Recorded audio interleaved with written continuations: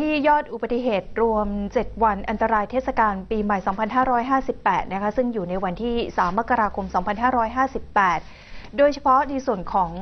ยอดรวมขณะนี้มีผู้ที่เสียชีวิตรวมแล้ว 260 ราย บาดเจ็บ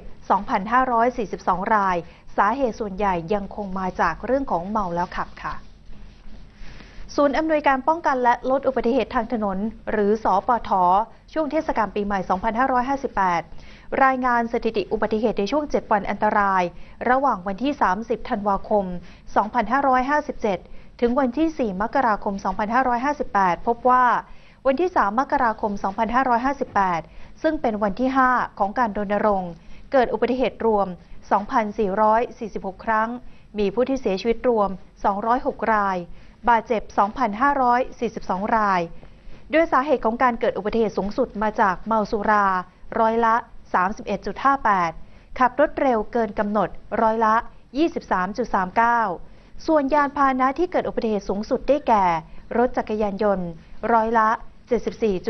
74.93 ช่วงเวลาที่เกิดอุบัติเหตุสูงสุดได้แก่ ช่วงเวลา 16นาฬิกา1นาทีถึง 20นาฬิกา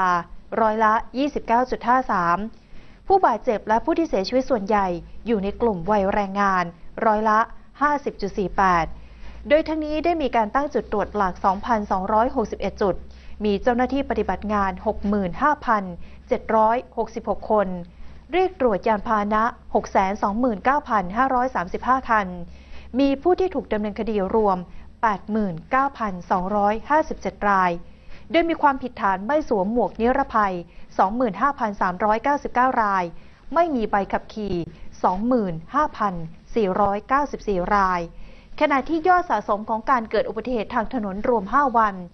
โดยจังหวัดที่ไม่มีผู้ที่เสียชีวิตมี 5 จังหวัดได้แก่ จังหวัดตรัง พัทลุง นราธิวาส สิงห์บุรี และนครพนม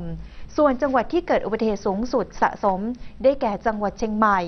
109 ครั้ง และจังหวัดที่มีผู้ที่เสียชีวิตสะสมสูงสุด ได้แก่จังหวัดเชียงใหม่ 14 รายค่ะ